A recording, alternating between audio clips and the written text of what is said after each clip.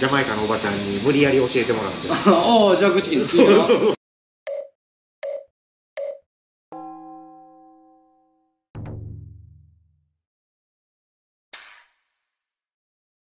おはようございます。えー、今、ただいま朝の9時前でございますね。えー、こちらの旅館泊まらせていただきまして、で、あのー今日もね、一泊します。で、えーと、今日はですね、日和佐という町なんですけども、えーこの町をちょっと散策しようかなというふうに思っております。まあ、雨なんですけどね、まあ別に雨の中ね、えー変動して ずぶ濡れになるとはまたこう別ですからね、全然平気ですよ。はい。ということで、えーちょっと散策をしたいなと思いつつもですねただこの旅館すごいですねちょっと皆さん後ろ見てください。はいこれ。朝日がこうやってねあの丸くちゃんと差し込むように作られてるんですよ。すごくないですかこれ。でここもね飾ってるんですけどもちゃんとこのライトアップとかでねすごいおしゃれにされてるんですよ。こうやって。でこっちも。こっちもほらこんな感じで日が差し込んでます。ね。でこんなやつがあったりとかこれとかもね。あったりとかなんかねとにかくすごいアートなんですよね。でまあこういうようなね、えーところがたくさんあると、えー伺いましてですね。この日和佐のマップみたいなのがなんかあるんですよ。これね。これちょっといただきまして。あれだけ山間部を歩いてこうもうそれこそですよ、まあ、ある意味あの日和佐の方 聞いたら、まあ、怒らないと思うんですけどあのなんかもう辺境地ぐらいのねあの気持ちで行ったらまさかこんなあのすごい発展している街があるとはっていうね。はい、ということでちょっといろいろ散策したいと思います。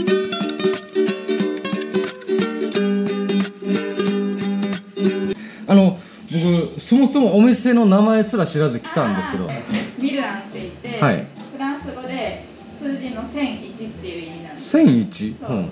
はい。息子の名前がセンちゃんって言って、はそれで娘はアンちゃんって言うんです。あはあはえっとフランス語にしてミル。で、アンちゃんはそのまんまアンで、アンドゥトワンをあはあで、アンちゃんと、はへえアンアンなんで、はあミルアンっていう名前にしたんですよ。あここもあれなんですか？あそこのあの旅館と一緒でなんかこの古民家をうん。やってる感じなんですかね？きっと。そうですね。こ古民家ここ全部自分たちでリフォームしました。ああなんか洒落てるんですよとりあえず。すごいなほんで。あのお父さんでしたっけ？あのお父さんがすごいなんかそうですね。フランス人のね。あフランス人なんですね？あ、そうですそうです。へえこれはあのこの辺日傘ではい解体されてしまったお家の欄間なんですよ。あそれをいろいただいたりして、これ本当にじゃあ古い欄間なんですか？そうですねえ結構変わってますねこれなんかそうですね。なんかで今奥にピザ窯作ってるんですよ。ピザ窯？おあれ？はい。ピピザやるんですか？ピザもやろうと思ってて、へ旦那がえ今作ってて、すごいな。旦那がピザ愛が止まらなくて。こう両サイドガラス張りにして、うんうんうん。ここにいろんな中にいろんなものが飾れるように。はい飾ってある。そうそうそう。確かに。クリスマスになったらこうクリスマスのオーナメントをちょっと飾ってみたりとか、はあ、はあはあはなんかそんなことがしたいなと思って、あ、すごいアイデアに溢れてますね。あこれあった？あ書いてある。ジャン・フィリップ・ボーデさん。はい。この方が作ってます。すごいこれタコうわーすごいな。おおこれも多分そうなんかな。あそうですそうですお父さん。ね。すごい。彫刻家なんですよね。そうですね。元のそう本職はこれです。はい。こちらアット寺前さんっていうね。なんか服とかね。ええ？急に都会に行きましたね。すごいな。ということで今チャイを作ってもらってます。あの街のあれなんですよね。かあの壁画とか全部描いてるんですよね。ね。あの僕もこの街に来た時にその壁画を見てえー。であれとこの街なんかあるぞと思って。ポイントになるというかあれなんのかな。あそうです。あのやっぱりねなんか匂い感じたんですよ。周期がするというか。あれ？と思ってその後ろの絵とかも描いてるんですか？そう僕基本ずっと絵描いてて、へえ。えほんでその移住のきっかけって何なんですまあ僕はずっと海外いたんで、かはい。まあでサーフィンが好きだったし、ここはい波乗りできるし、あサーフィンだってあるっすもんねボード。そああでこの日はさどうやってその岩佐はオーストラリアの時に一緒にサーフィンしてた子が、はなんかこっちに移住するってなってそれきっかけで一回来てはいあいいとこだなみたいな。ああさっき言ってた空気感がいいみたいなのの、うん。一番最初の感情は同じだと思う。あー。あ岩佐なんかいいなみたいな。ああでもうん。僕今その段階ですねじゃあ。何がいいかわかんないけど、うん。なんかいいな。そう。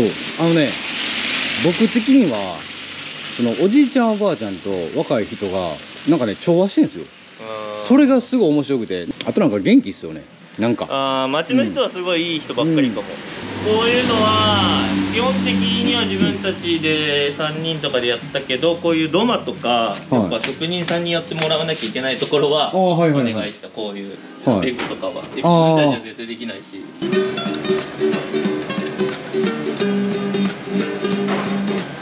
神戸におったんですけど、ああそうなんですね。まあ、ちょっと移住先をするのに、まあ、うん。釣り好きだったんで、はい。海の近くでいろいろ探してたら、うん。あの南町で協力隊の募集してたんで,、はいはいはい。でまあ、一応募募集あの応募したらあのはい採用してもらあって。それで協力隊でやってたんですか？で最初は協力隊で来てでお店はもう協力隊と別だったんですけど、はいまあ、一応その協力隊やってた時にこの、まあ、門前町っていうんですけど、は門前町のまあ再生みたいなことをはいはいはい。まあ、ちょろっとやってたんですけど、うん。でここ多分こうお店いっぱいできてきたんですけど最初の1店舗目なんですけど。あそうなんですね。で豆盆さんができたと。そうですね。あただその後にポツポツポツポツって増えてきてちょっと歩いてもそこら辺にあそうそうなんかあるある。っていう感じになってきたんで、うん。だからやっと点がこうちょっと線になってきたかなって感じ。あじゃあ本当にこの数年の話なんですね。もうね。ここがこの間の4月先月で丸4年やったんで。へえはいということであの昨日ね薬王寺さんあの、まあ、お参りして農協いただいたんですけれどもあの結構ね時間が あのそんなになくてですねあの、まあ、せかせかしてしまったのでで今日ね一日、えーこの日和佐町ね、楽しんでおります。散策しておりますから、まあ、せっかくなんでねこの薬王寺さんえーさらにですねこうゆっくりとちょっとね、えーお参り、えー見てみたいなと思いましてこちらやってきました。でこの日和佐という町はですねこの薬王子さんがですねまああるこれが大前提というかこの薬王子さんがあってでそしてそこからこの町が栄えていったと。昨日ですね、まあ、ちょっと時間もなくでそして本当に疲れ切っていて、えー、となかなかここまでねちょっと来れなくてですね。で、えー今日ね、えー絶対来ようと思っておりましたこの赤い塔奥の方に見えますけどこれ、えー湯木塔と言います。はい。ねこれをねちょっとね間近で見たいなと思っております。こちらが湯木塔でございます。はい。あのねこれ遠くから見るとねすっごく大きいんですよね。はい。でそしてその湯木塔のところからはいこんな感じで日和佐の街を一望できるという感じになっております。はいこちらねすっごいねこう大きいんですよね。はいちょっとねもう画像なん動画なんでね上までちゃんと映せないと思うんですけどもあの実際見るとすごく大きいです。こちらはね、えーこれも有名です。はい、えー、薬王子さんで有名な年の数だけこう鳴らしてですね、でそして、えー唱えると、えーそうするとまあ役がね、あのなくなるよ、しょまあ、えー役落としになるよというものでございますね。いや本当にあの役落としですごく有名だそうですね。この薬王子さんというのは本当に風情あります。すごいです。はい今おすすめされた桜庵さん。もともとねゲストハウスもやってるんですけどなんかカフェもやってるってことなんで行ってみます。ここも古民家をリノベされてるんですね。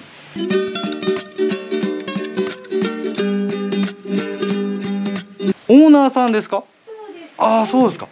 父がここの出身なの。ああそうなんや。あそっかえっ、とね海側のその昔の街並みが残ってるところはい。で僕もちょっと見たんですけどなんかすっごい細いそうそう。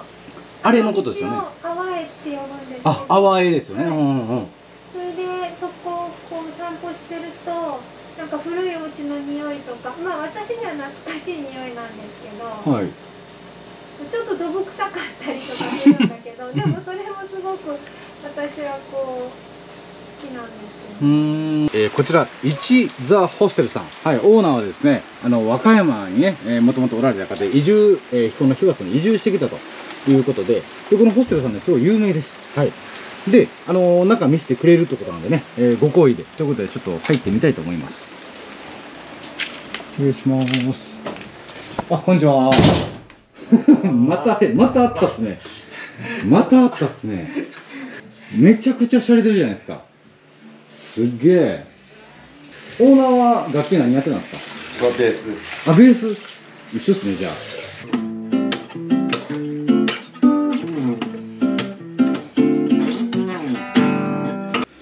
一人でやってるってすごいっすねほんまに。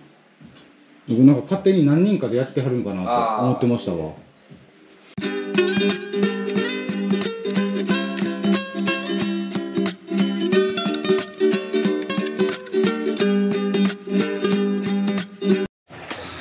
部屋も見せてくれるらしいです。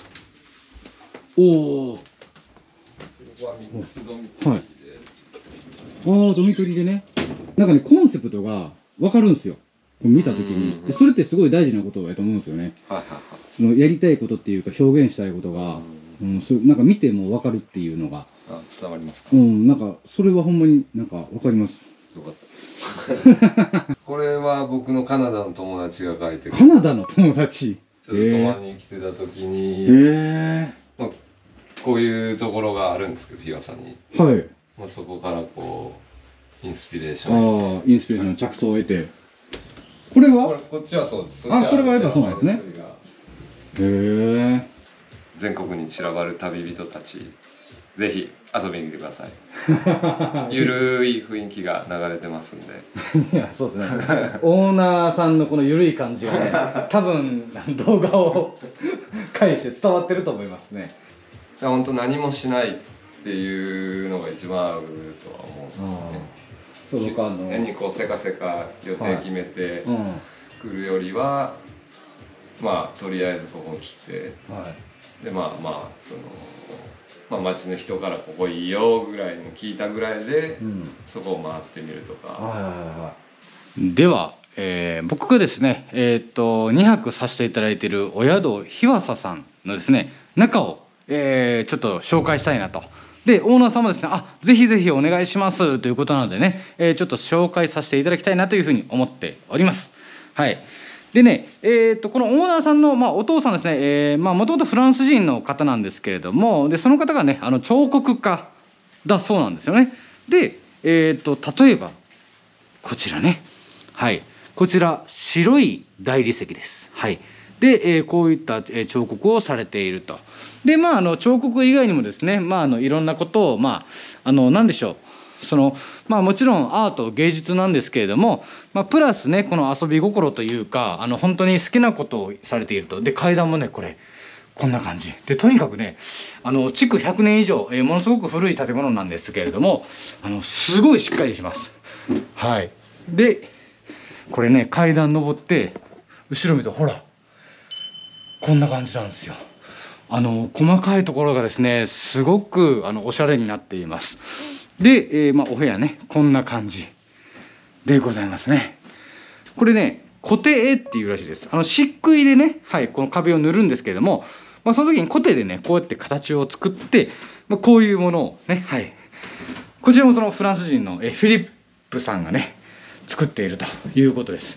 これねよく見るとまあある意味ですよそのなんかすごく手作り感があるんですよ。これ見ていただくと分かると思うんですけれども、まあ、その、えー、コテの感じとかね、はい、そういうのいっぱいあると思うんですよ。でこれあのフィリップさんがおっしゃってたんですけどもそのまあものすごくね綺麗に、えー、ツルツルに、えー作るのももちろんそれはそれですごくいいことなんだけれどもでもあの私は人の手を感じるものを作りたいとおっしゃっておりました。であのこういったものがですねあの本当にね随所にございますこちらもねもちろんありますしねでこっちもあるしでこの辺りがちょっと大きいですよね。すごいですよね。はい。こんな感じで。でこっちはフクロウですよね。お風呂ですね。でこちらが、えーお手洗いなんですけどもここの欄間これもねあの作られたそうです。可愛いですよね。なんかすごいね。でお風呂の中もですねこんな感じで。されております。ものすごい風情がありますよね。はいでこちらがまあ台所というかね共用部分になりますね。洗濯物だったりとかねいろいろあったりとか。はい冷蔵庫だったりコーヒーもねあのご自由に飲んでくださいとおっしゃっていただきました。でなんかこういうのですよ。あのツルツルにするんじゃなくてちょっとこうなんかね跡を残すんですよね。はいこの感じがねあのすごく風情があっていいなというふうに僕は思いました。はい、こちらの僕が今あの泊まらせていただいているお部屋でございます。あの中庭がね見えるお部屋ですよって紹介していただいて、これもねあのすごく開放感があってすごく気持ちいいです。ここからの眺めね。はい。でこの建物なんですけれども。あのその昔ですね今はあの国道ができてですねあの、まあ、車の行き来すごく楽になっています。はい、なんですが、まあ、その昔は本当にねあの山道しかなかったそうなんですよねここに来るまでに。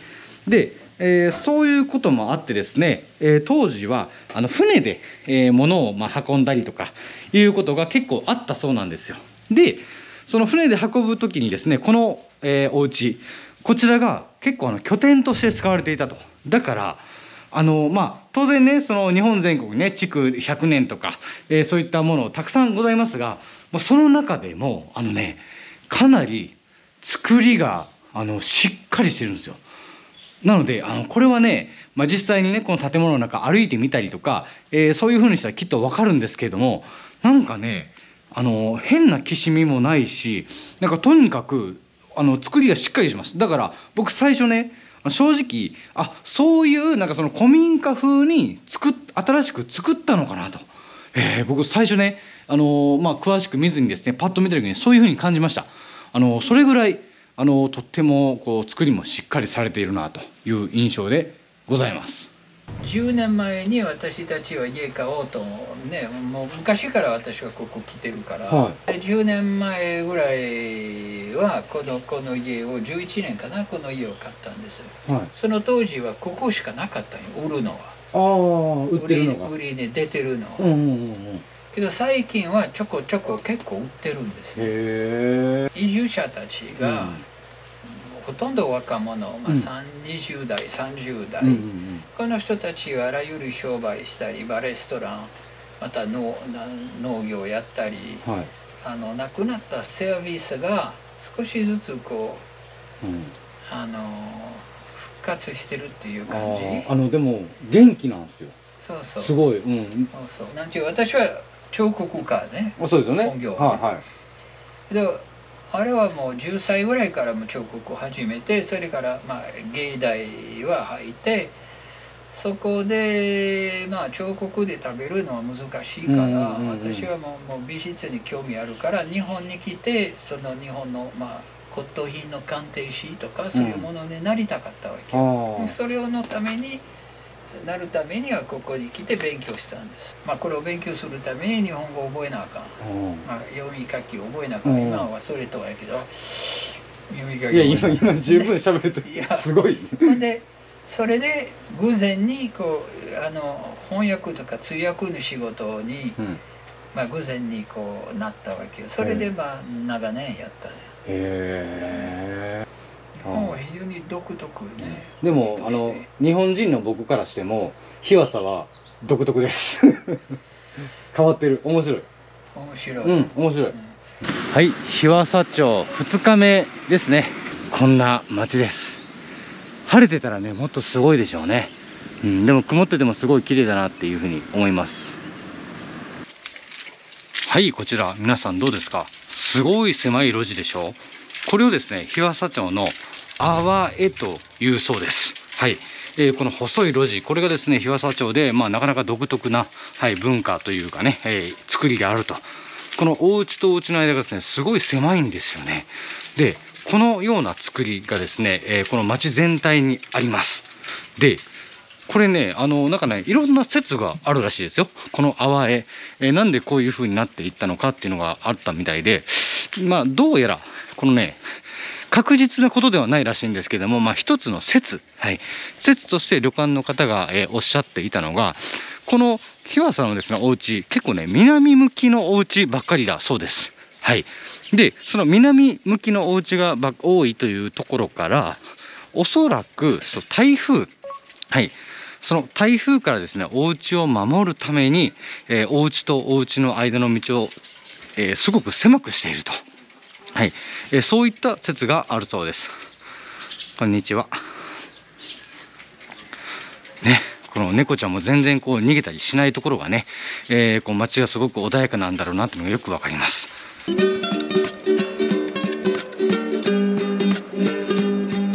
や、ご飯美味しかったです。ありがとうございます今日は今日はだから実は昨日ね夜ねちょっと寄らせてもらって、はい。なんかあの旅館の、はい。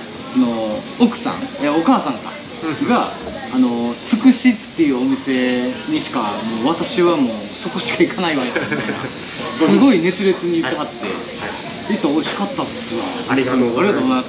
この辺ってなんかその、はい。本当に移住の方すごい多いじゃないですか。多いですね。たけさんはどうなんですか？僕はね親父が移住者ですそうだから生まれながらにここ、そうです。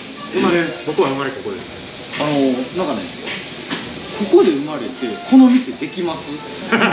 普通に例えば東京だったら高円寺とか大阪だったら中崎町とか、はいはい。なんかああいう雰囲気あるんですけど、へー。その文化どっからこう引っ張ってきたんですかいやーでもこれもほんまにいろんな人が集まる街やからはい。多分いろいろ集まった感じ。よでそれで僕すごいね印象的なんが、まあまあこの店構えだけ見たらね例えばその若者が来そうな感じじゃないですか、でもそこにおじいちゃんおばあちゃん来るんですよ。来ます来ます。それが衝撃的で そういう街ってね大体なんか二分化しちゃってああ確かに。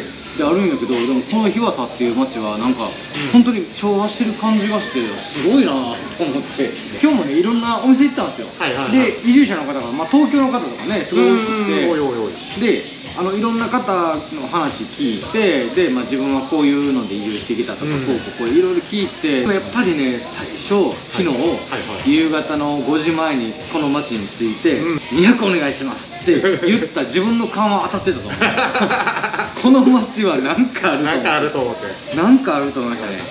まさかね自白チキン食べれると思った。そうです。ねたまたまね僕もね。海外に行ってた時にはい。ジャマイカのおばちゃんに無理やり教えてもらって ああ自白チキンですよそうそうそう。えーいや美味しかったっすよ。工場まで潜入しましたかええらちょこっとだけ見えてるんです青いあはいはいはいはい。ああれであのそこに見えてる薪で一緒に蒸し焼きというかそうなんですかドラム缶で蒸し焼き。そうそう。はあすげえ。なんかそれもガチっぽいですね。そう。ですさっき作ってたマヨネーズになるんですけど。あそうマヨネーズをねずっと作ったって。味決まらへん。そうそうそう。なんかマヨネーズねミキサーでやって「んちゃうな」みたいな感じでずっとやってたんですよね。燻製マヨネーズ。まいやた本当あれもすごかった。わ近々また完成させようかなと思ってるんああですすごい。えじゃあもうなんかその料理めちゃくちゃ好きなんですか？そうですね。なんか料理があの好きな人なんやなっていうのがさまあそれはあの料理屋さんする人はみんなそれは料理好きでしょうけど、でもその中でもあこの人なんか好きなんだなみたいな。ほらミュージシャンでもやってるけどなんかそのあこの人本当に好きなんだなって思える人とまあそうじゃない人もいるじゃないですか、そうですね。でそれを思える人をやったんですよね。驚かすのが好きなんですあいやそらあのマヨネーズね食べてえってなりますよ。なるでしょうなるなるなる。しかもいい方で。ありがとうございます。ね。途中ですけどね。またね僕お遍路終わったら、はい。ぜひねちょっとこの街に旅行しに行きたいなって。ぜひぜひぜひはい、ぜひ本当に思ってます。ベストシーズンは春夏秋がベストいいと思いまああ夏夏あのウミガメっていつ来るんですか？す夏のね、ごえー、と6月から8月いっぱいまでぐらいですかね、にまあほ本当にそんないっぱい来るわけじゃないですよね。もともとはねめちゃくちゃ多かったんですけど最近やっぱりこの地形が変わってしまったり水温が変わったりとか。で減ってはしてるそうなんですよ。まあでもまだ来てるんで来てるお城ありました？山の上に。はい。あのお城の、えー、とちょっと下ぐらいにランプが立ってるんですよ実は、はい。は。いそこで青いランプ光ったら上陸してるサイン。へえでひオレンジっぽいランプが回ったら産卵中のランプ。えそれは誰かがずっと。そうなんです。監視員の方がおらえでお知らせしてくれるんですかランプそうなんですよ。なんかあのーうん。ちょっとあれですね。アラートみたいな。あそうそうそうそうそう。大阪アラートみたいな。そうそうですぜひタイミングあったら。そうですね。上陸まで。じゃあ夏に行ってちょっとウミガメアラートやりつつあそうですね。まあちょっと1週間ぐらい滞在してたらあー。もしかしたら見れるかもしれない。ぜひぜひぜひ。ウミガメの鳴くとこが見れるんですね。そうなんです泣い泣いてますよ。であの僕昨日ねあの、はい。ちょっと聞かせてもらったんですけど、うん。なんかすごいあ1000人がいるって聞いたんですけどそれどういうこと？ちょっと詳しく。ああもうぜひぜひ。あのーその高知の、はい。えー足摺岬の足摺岬。もう四国四国があって、はい。この足足が2本あるんですけど。これ室戸これこれ室戸これ室戸、はい。でこっちが足摺岬なんですけど、は先っちょの先っちょらへんにはい。てます、でお年はいくつぐらいの方ですか？70歳ぐらいになるんかな。見たあ感じ見た感じ。ああだからそうそう。ですね。そのパターンの人ってもう年とかわかんない。ですよねわかるそこのおじさんが営んでるあのチャイをメインで出されてるカフェがあるんですよ。はあ、はあはインドっぽいやつ。あ、はいはい。でかいやつね。そうそうそう、はい。でかめのインドっぽいやかんにいっぱい入ったチャイをとりあえず入れていただいて、はい。これ飲ましてもらったんですけど、あのお金どうしたらいいんですかって聞いたら、いいやあの気持ち気持ちでっていう。気持ねちで。値段ないみたいなちょっとねインターネットでね実は調べました。昨日ちょっと聞いて。お。そしたら頭蓋仙骨療法でしたっけ？はい。なんかその頭をマッサージしてくれるんですよね。そうです。その日仙人まあ木さんっていうおじさんが、はい木さんはい。木さんっていうおじさんのいろいろべインドで勉強してきた、はい。ヨガから始まってるんですけどあそこから始まった何か理屈が込められた、うん。なんかもう施術なんで、へえあ優しく頭を触ってくれるとかじゃない。じゃないよもうガチの。ガチガチです。いやそれはちょっと絶対行きます。いやありがとうございます。今ねあの実は営業中なんですよ皆さん。あの本当もうこの時間でもやめましょう。はいありがとうございます。ありがとうございました。ありがとうございましたありがとうございます